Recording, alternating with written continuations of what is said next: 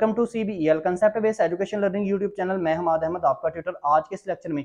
हम बात करेंगे बीकम पार्ट वन की, जिसे एडीसी पार्ट वन और एडीपी पार्ट वन भी कहा जाता है और इसका सब्जेक्ट है कंप्यूटर एप्लीकेशन तो स्टूडेंट्स आपको पता है हमने इस साल एनुअल एग्जामिनेशन 2023 के related paper pairing scheme computer application की भी स्टार्ट कर दी है। प्रीवियस वीडियो के अंदर हमने क्वेश्चन नंबर वन किया था। इस पेपर पेयरिंग स्कीम के रिलेटेड वो क्वेश्चन था।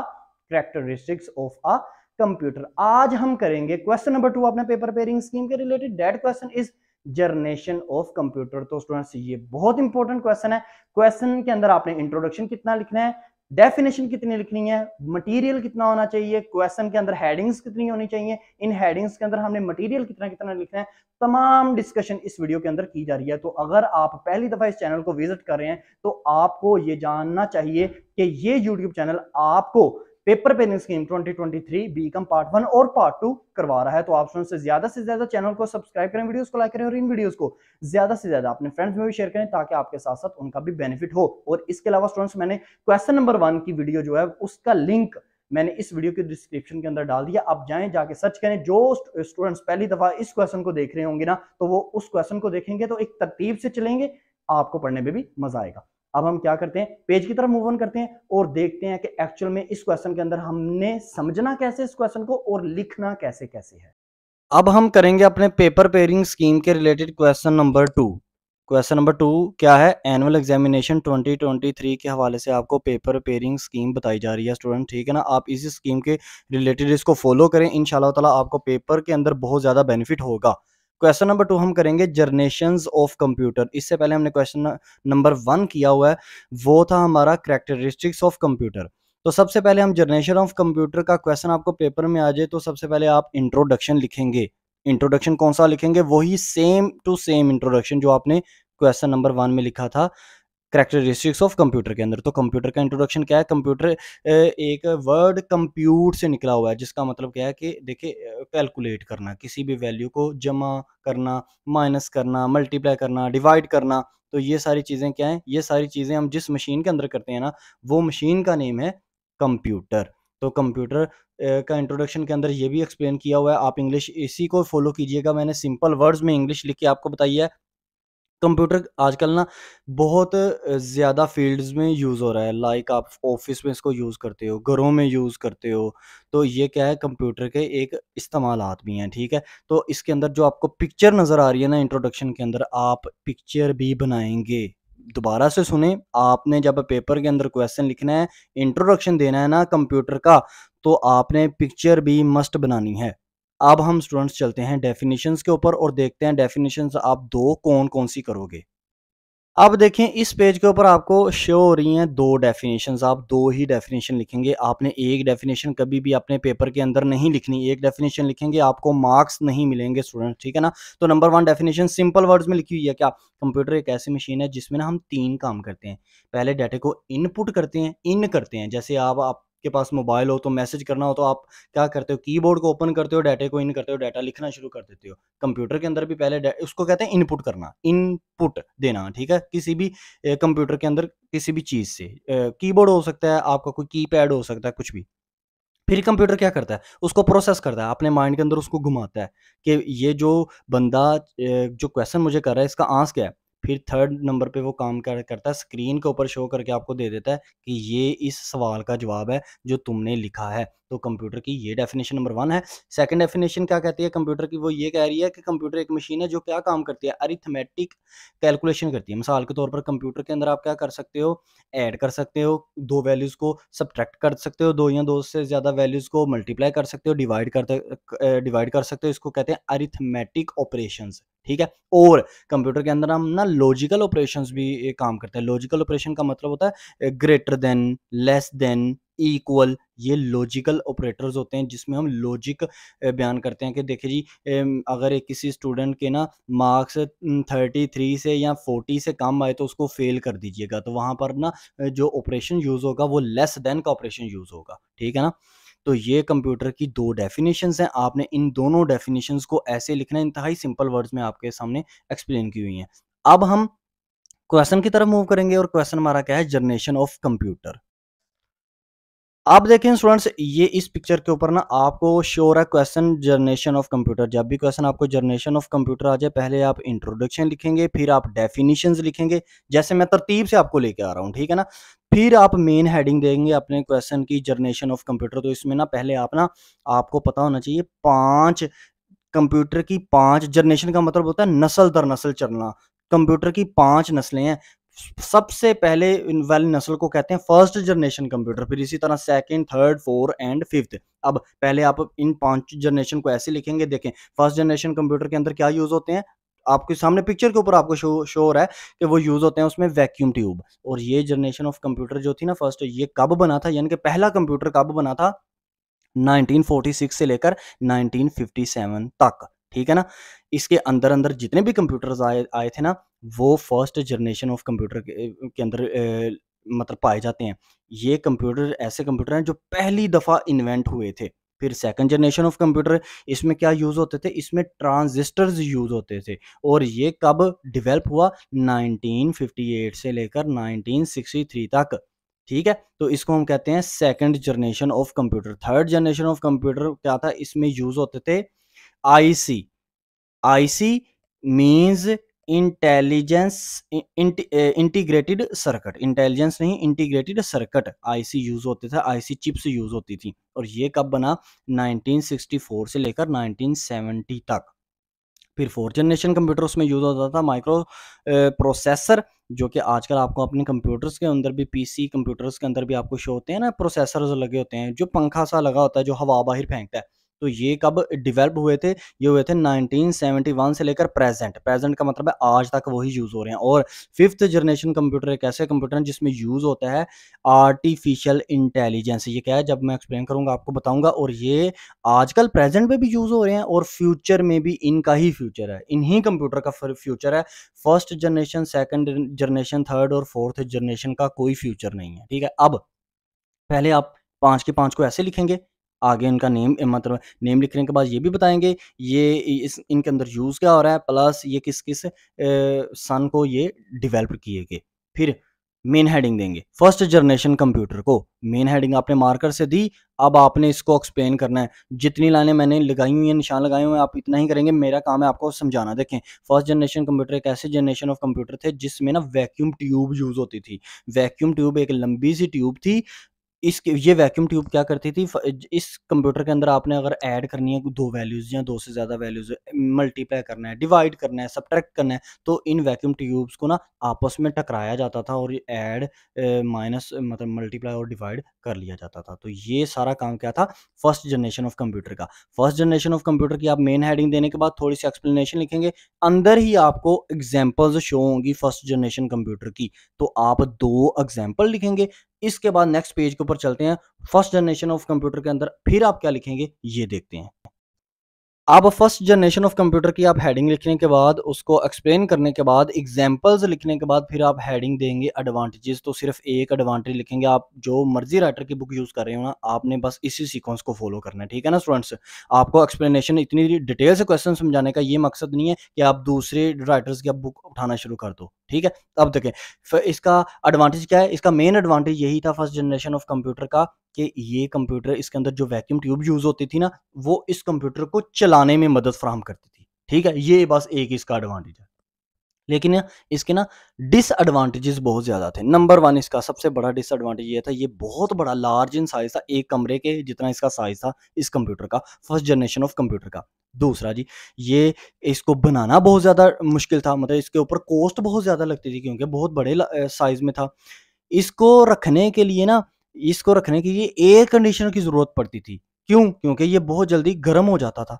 तो जो चीज़ बहुत जल्दी, आप भी अक्सर लैपटॉप वगैरह या कंप्यूटर वगैरह यूज़ करें तो आपको पता वो अंदर से हीट आ रही होती बाहर। तो ये कंप्यूटर ऐसे थे जो बहुत ज़्यादा पूरे कमरे को हीटअप कर देते थे।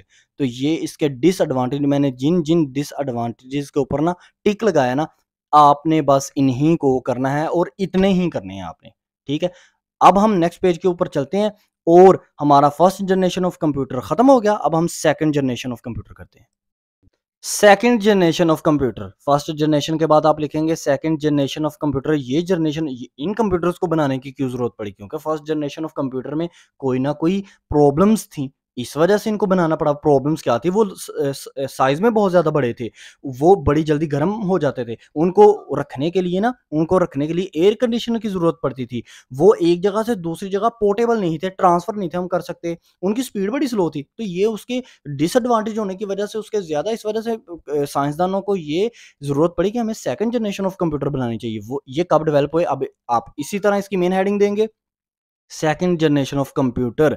ये बने थे 1958 से लेकर 1963 तक। इन कंप्यूटर्स में क्या यूज़ हुआ? वैक्यूम ट्यूब को हटाकर ट्रांजिस्टर्स यूज़ कर लिए गए। पिक्चर बनी होती है, आपको शो रही होगी, ठीक है ना? ट्रांजिस्टर यूज़ किए गए तो इसकी एग्जांपल क्या है? एग्ज़ाम्पल मैंने दो अंदर लिखी हुई हैं, आपने यही दो एग्जाम्पल्स चाहे हेडिंग बनाकर लिख दें, चाहे ऐसे ही सेम लिख दें मतलब जैसे आपको शो हो रही हैं। अब, इन कंप्यूटर के एडवांटेजेस क्या थे? अब एडवांटेजेस की मेन हेडिंग देंगे एडवांटेजेस सुनिएगा। ये कंप्यूटर स्मॉलर साइज़ के थे as compare to first generation of computer बिल्कुल सेम ऐसे लिखेंगे। आगे मैंने पेंसिल से लिखा हुआ है बॉल पेन से लिखा हुआ है, आपने भी ऐसे ही लिखना है, ठीक है ना? First generation of computer large size के थे, ये उससे जरा थोड़े साइज़ के थे, फिर फ़र्स्ट जनरेशन ऑफ़ कंप्यूटर ज़्यादा गर्म गर्म हो जाते थे, ये लेस हीट अप होते थे as compare to first generation of computer इनकी speed as compare to first generation of computer ज़्यादा थी। ये as compare to first generation of computer ये कंप्यूटर को आसानी से एक जगह से दूसरी जगह मूव कर लिया जाता था, लेके जाया जा सकता था पर्सन ठीक है? इसके अलावा, इनकी स्पीड भी फ़र्स्ट जनरेशन ऑफ़ कंप्यूटर से ज़्यादा हाई थी। ये रिलायबल थे, ज़्यादा अच्छे थे as compare to first generation of computer तो ये कुछ एडवांटेजेस थे फ़र्स्ट जनरेशन ऑफ़ कंप्यूटर के। अब पेज के ऊपर चलते हैं नेक्स्ट के ऊपर देखते हैं इसके, इस कंप्यूटर के भी डिसएडवांटेजेस क्या थे। डिसएडवांटेजेस देखें सेकंड जनरेशन ऑफ़ कंप्यूटर के। तो स्टूडेंट्स इन कंप्यूटर्स को बिना मेंटेन करने के लिए, रखने के लिए, कमरे के अंदर या किसी भी जगह एयर कंडीशनर की एसी की ज़रूरत पड़ती थी। ठीक है, इनको ठंडा करने के लिए।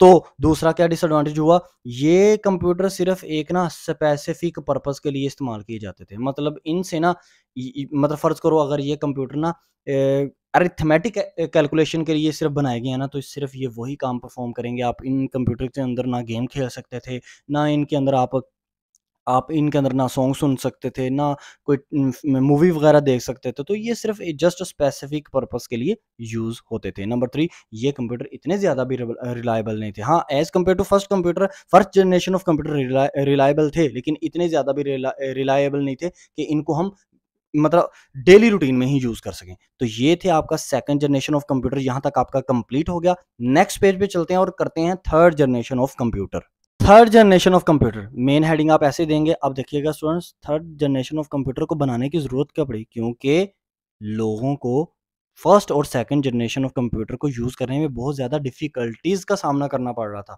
तो थर्ड जनरेशन ऑफ़ कंप्यूटर को किस सन में बनाया गया? 1964 से लेकर 1970 तक जितने भी कंप्यूटर्स बने हैं, वो थर्ड जनरेशन ऑफ़ कंप्यूटर के अंदर आते हैं। इनमें यूज़ क्या हुआ? इनमें ना ही वैक्यूम ट्यूब यूज़ हुई, ना ही इनमें ट्रांजिस्टर यूज़ हुए, इनमें आईसी यूज़ हुए। आईसी मींस ये सर्किट होते हैं छोटे छोटे सर्किट होते हैं मतलब छोटे छोटे सा ना गोल गोल सेल होते हैं, जो कि कंप्यूटर के अंदर फिट करके ना उन्होंने इस कंप्यूटर को बिल्ड किया था। तो इसके अंदर आप एक्सप्लेनेशन ऐसे लिखेंगे जितनी मैंने निशान लगाए हैं प्लस एग्जाम्पल्स दो अंदर आपको लिखी हुई शो हो रही हैं, चाहे हेडिंग्स दे के लिख लें, चाहे ऐसे ही सेम लिख लें बॉल पेन के साथ तो एग्ज़ाम्पल आप अंदर लाजमी लिखेंगे। जो जो चीज़ आपको मैंने निशान लगा के दी है ना, ये आपने लाजमी लिखना है। ये ना कीजिएगा कि इसमें से भी आप आधा आधा ख़त्म करते जाएँ, ठीक है ना? एडवांटेजेस की बात करते हैं। तो एडवांटेजेस इस जनरेशन ऑफ़ कंप्यूटर के क्या थे? ये जनरेशन ऑफ़ कंप्यूटर जो थी ना थर्ड जनरेशन ऑफ़ कंप्यूटर ये फ़र्स्ट और सेकंड जनरेशन ऑफ़ कंप्यूटर से भी स्मॉलर थी। सही है? नंबर दो first generation of, second generation of computer से भी कम हीट जो थी ना, इस, ये कंप्यूटर हीट अप होते थे। फिर ये कंप्यूटर जो थे ना, वो ज़्यादा रिलायबल थे as compare to first and second generation of computer तो ये क्या थे? इसके कुछ ऐसे एडवांटेजेस थे, बाकी अंदर ही लिखे हुए हैं, आप उनको लिखेंगे, मेरा काम है वो वो बता देना, जो आपको ना थोड़ा सा ना समझने में प्रॉब्लम हो सकती है। फिर डिसएडवांटेजेस क्या है? अच्छा इन कंप्यूटर्स को भी ना अच्छा इसका एक एडवांटेजेस ये भी था थर्ड जनरेशन ऑफ़ कंप्यूटर का, ये बताना ज़रूरी था कि इस कंप्यूटर के अंदर ना थर्ड जनरेशन ऑफ़ कंप्यूटर में फ़र्स्ट टाइम कीबोर्ड माउस और मोनीटर का यूज़ हुआ था मतलब मोनीटर को डेवलप किया गया था कीबोर्ड मोनीटर और इसको माउस को। इन तीनों चीज़ों को जिस जनरेशन ऑफ़ कंप्यूटर में पहली दफ़ा रखा गया था सिस्टम के अंदर, वो थे थर्ड जनरेशन ऑफ़ कंप्यूटर अब डिसएडवांटेज देखें, इन कंप्यूटर्स को भी मेंटेन करने के लिए, रखने के लिए ना एसी की ज़रूरत पड़ती है एयर कंडीशनर की ज़रूरत पड़ती थी। फिर इसका सबसे बड़ा डिसएडवांटेजेस क्या था? ये था कि ये जो आईसी है ना, ये जो आपको सर्किट शो होते हैं, जो लगे होते हैं इस जनरेशन ऑफ़ कंप्यूटर में इनको बनाने के लिए ना, बड़ी हैवी किस्म की, बड़ी हाई टेक रेंज की ना टेक्नोलॉजी की ज़रूरत पड़ती है, जो कि बड़ी महँगी साबित होती थी। तो ये इसके डिसएडवांटेजेस थे थर्ड जनरेशन ऑफ़ कंप्यूटर आपका यहाँ कंप्लीट हो गया। नेक्स्ट पेज पे चलेंगे और करेंगे fourth generation of computer. Fourth generation of computer, ये कंप्यूटर कब डेवलप हुए थे? 1971 से लेकर प्रेजेंट, अभी तक। अभी तक fourth generation of computer developed हुए जा रहे हैं। अब समझिएगा students fourth generation of computer के अंदर एक क्या ऐसी स्पेशल चीज़ इन्होंने डाल दिया जो अभी तक इनको बनाया जा रहा है? इनके अंदर है माइक्रो प्रोसेसर प्रोसेसर आपको अक्सर, आप देखो पीसी कंप्यूटर आपके लैपटॉप वगैरह के अंदर प्रोसेसर लगा होता है, जिसके साथ ही फ़ैन अटैच होता है, जो उस प्रोसेसर के अंदर जो हीट होती है, उसको बाहर की तरफ़ ट्रांसफ़र करता है, फेंकता है। तो इन कंप्यूटर के अंदर ये मेन चीज़ थी एक्सप्लेनेशन आप इतनी ही रखेंगे, जितना मैंने आपको निशान लगा दिया, इसमें से भी आपने कट नहीं करना और एग्जाम्पल्स अंदर लिखी हुई हैं, आपने यही दो एग्जाम्पल्स करनी है, इनको आप बॉल पेंट से अगर नहीं लिखना चाहते तो मेन हेडिंग बनाकर एग्ज़ाम्पल की मार्कर के साथ फिर एग्ज़ाम्पल को आप लिख सकते हो। अब एडवांटेज की बात करते हैं तो ये कंप्यूटर जो थे ना फोर्थ जनरेशन कंप्यूटर ये बहुत ज़्यादा स्मॉल साइज़ के थे as compare to first second and third generation of computer ये बहुत ज़्यादा मोर रिलायबल थे as compare to first second और थर्ड जनरेशन कंप्यूटर ये ये बहुत लो कॉस्ट के थे। मतलब इनको बनाना ना बड़ा सस्ता पड़ता था as compare to first second and third generation of computer फिर ये कंप्यूटर जो थे ना, इनकी स्पीड बड़ी तेज थी। अभी तक है, कैसे? As compare to first second and third generation of computer तो ये कुछ एडवांटेजेस हैं इसके फोर्थ जनरेशन ऑफ़ कंप्यूटर के। अब इसके हम करते हैं डिसएडवांटेजेस नेक्स्ट पेज पर। Disadvantages of fourth generation computer सिर्फ़ एक डिसएडवांटेजेस आप करेंगे। आप जिस मर्ज़ी राइटर की बुक यूज़ कर रहे हैं ओल्ड या न्यू स्टूडेंट्स आपने यही करना है। अगर आप पेपर में अच्छे मार्क्स लेना चाहते हो, अगर आप पेपर में टाइम से अपना क्वेश्चन कंप्लीट करना चाहते हो तो ठीक है? देखें आपने एडवांटेज में पढ़ा कि इस कंप्यूटर के अंदर क्या पढ़ा क्या, इस कंप्यूटर के अंदर क्या मजीद चीज़ अटैच है माइक्रो प्रोसेसर और माइक्रो प्रोसेसर क्या है? वो इस कंप्यूटर के अंदर जो प्रोसेसिंग की स्पीड होती है ना काम करने की जो सलाहियत होती है, वो as compare to first second और थर्ड जनरेशन ऑफ़ कंप्यूटर बड़ी ज़्यादा होती है।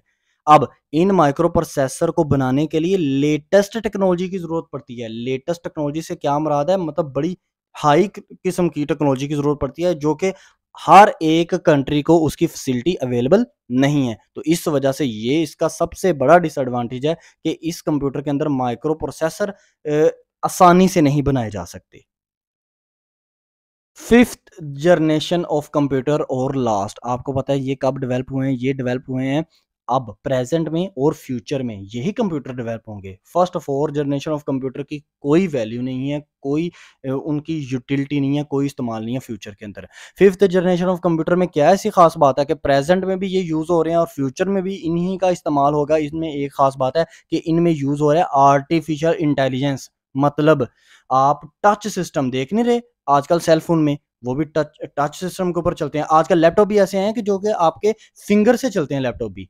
तो ये आर्टिफिशियल इंटेलिजेंस के अंदर आता है। और दूसरा देखिएगा, इन जनरेशन ऑफ़ कंप्यूटर के अंदर वॉइस रिकॉग्निशन है। यानी कि आप वॉइस मैसेज भी सेंड कर सकते ये जो आपका व्हाट्सएप बना हुआ है, ये मतलब ये कंप्यूटर के ऊपर ये सारे आपके सॉफ्टवेयर डेवलप होते हैं। तो व्हाट्सएप के अंदर आप क्या करते हो? वॉइस मैसेजेस नहीं सेंड करते। तो वो क्या है? वो आर्टिफिशियल इंटेलिजेंस के अंदर आ रहा है। तो आर्टिफिशियल इंटेलिजेंस बेस जितने भी कंप्यूटर होंगे, वो फिफ्थ जनरेशन ऑफ़ कंप्यूटर के अंदर आते हैं और आर्टिफिशियल इंटेलिजेंस कहते हैं आपका पूरा टच सिस्टम जो आप फिंगर से कंप्यूटर या मोबाइल को चलाते हैं। तो स्टूडेंट्स ये थे आपके पाँच जनरेशन ऑफ़ कंप्यूटर ये थी आपने क्वेश्चन को बिल्कुल एग्जैक्ट ऐसे ही लिखना है जैसे मैंने आपके सामने प्रेजेंट किया है। फ़र्स्ट जनरेशन ऑफ़ कंप्यूटर से लेकर फिफ्थ जनरेशन ऑफ़ कंप्यूटर तक और उससे पीछे इंट्रोडक्शन डेफिनेशन तक। ये था question number two question is generation of computer इनशाला नेक्स्ट आने वाली वीडियो में हम क्वेश्चन नंबर थ्री करेंगे। वो क्वेश्चन क्या है? तब तक आप वेट कीजिएगा। आई होप सो आपको ये यूट्यूब चैनल बहुत ज़्यादा बेनिफिट कर रहा होगा। फिर भी आपको किसी भी सब्जेक्ट के अंदर कोई इश्यू है, कोई क्यूरी है तो कमेंट सेक्शन में लाजमी पूछिएगा। अब तक इतना ही। अपना ख्याल रखें। अपने इस यूट्यूब चैनल का भी। अल्लाह हाफिज़।